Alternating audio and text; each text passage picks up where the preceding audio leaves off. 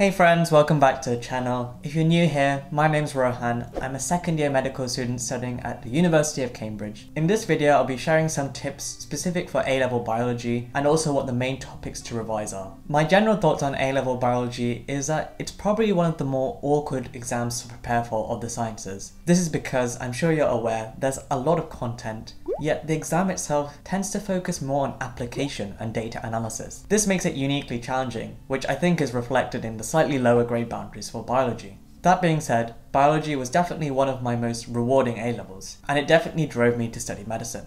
This is because you get to study actual organisms and really cutting edge stuff about what's relevant in society as a whole. Whereas sometimes in the other sciences, I found it quite abstract thinking about really molecular and submolecular stuff. So to get into the meat of the video, I first want to provide an overview of the topics in A-level biology. This is because it's really easy to get lost in the enormity of the course, so I just thought I'd try condense it into a handful of topics to make it more manageable and hopefully easier to see how subtopics link to each other. It should also help when you're planning synoptic essays, which we'll touch upon later. So this isn't a formal or exhaustive list, but some of the key topics for me in A-level biology are biological molecules. So this includes stuff like carbohydrates, lipids, enzymes, protein synthesis, DNA replication. Then you have stuff which I call cell biology. Organelles, difference between prokaryotic and eukaryotic cells, mitosis, meiosis, difference between animal and plant cells. Then you have things linking with ecosystems like taxonomy, evolution, biodiversity, species adaptations, and carbon and nitrogen cycles. Then you have cell transport mechanisms like diffusion, osmosis,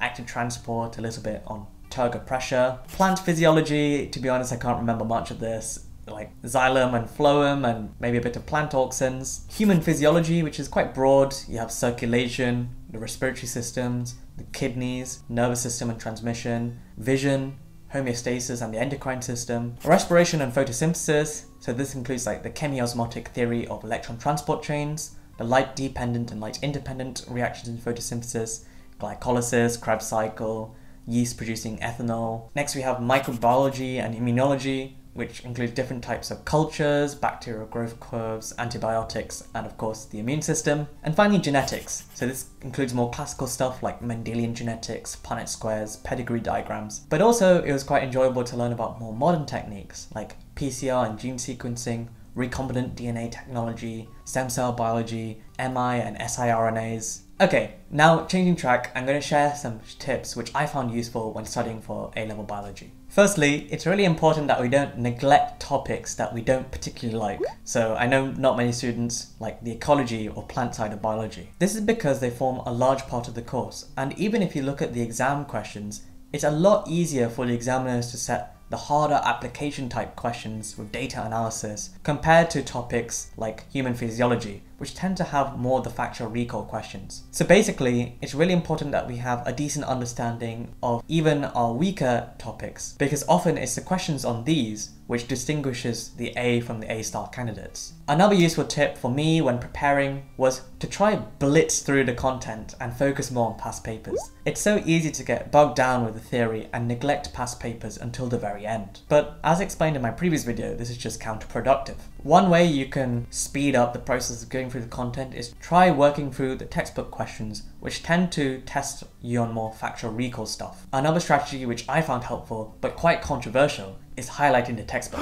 so yes, I know the evidence clearly states that this is an ineffective study technique in itself, but hear me out. So in my school, because we were in the last year of the school doing the Edexcel course, they let us keep our textbooks. This is actually a game changer because in lessons I could just highlight the most important facts, which sometimes is only one or two sentences in a huge paragraph. Then in lessons I could focus more on what the teacher was actually saying and trying to actually understand the content at the first instance, rather than frantically trying to copy down from the board and reviewing my notes later that evening. I sometimes even drew little diagrams at the side of the textbook to summarize large swathes of text into really simple things to learn. It also helped me with active recall because I was able to make questions on my highlights and then I'd go answer these questions and it'd be really easy to quickly check for answers instead of wasting your time trying to find what the relevant bit to answer your question was. And in fact, this is the exact technique which I used in the first year of medical school exams to get me pretty good grades, so I know that it works. The next few tips are about exam technique, which is the key to success in A-level biology. Firstly, know your command words.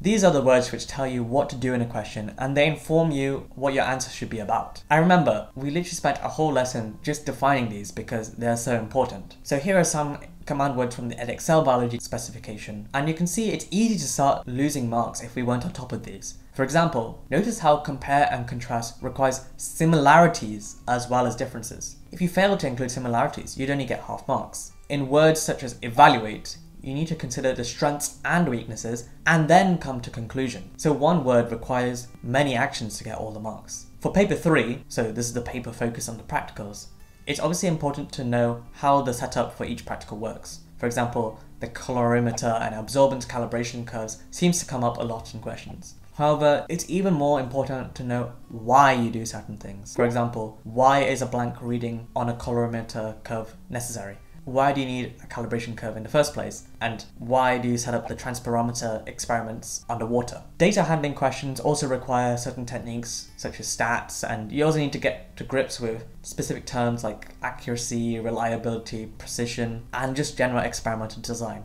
There's too much really to cover in this video, but this is where analysing mark schemes become super helpful. Finally, a quick note on essays. Unfortunately, I didn't do AQA biology, so this isn't my area of expertise.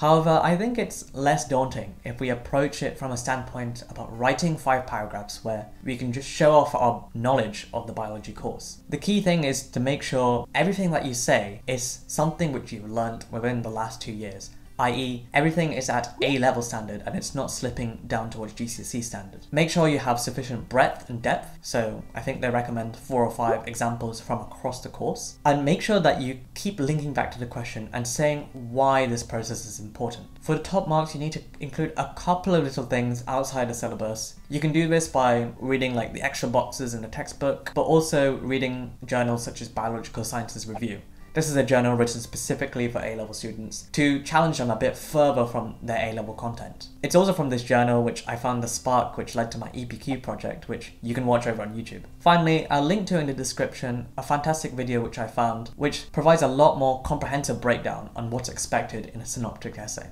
So that's it for this video. Do let me know if you found this style of video useful. If you enjoyed it, please give this video a like and consider subscribing to the channel for more content like this in the future. If you are considering to applying to medical school, you might want to check out this video series, which I've been working on over the last year or so, where I give detailed tips for each stage of the application process. I'm sure you'll find it useful. Anyway, take care and bye for now.